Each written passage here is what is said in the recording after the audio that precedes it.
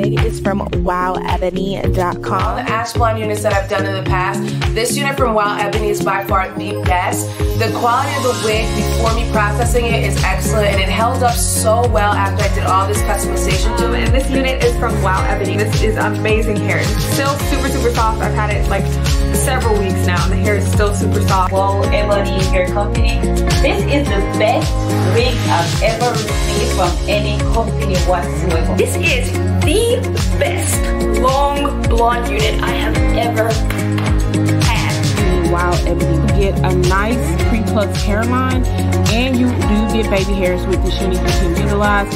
And they do pre-bleach the knots for you. They did a really good job.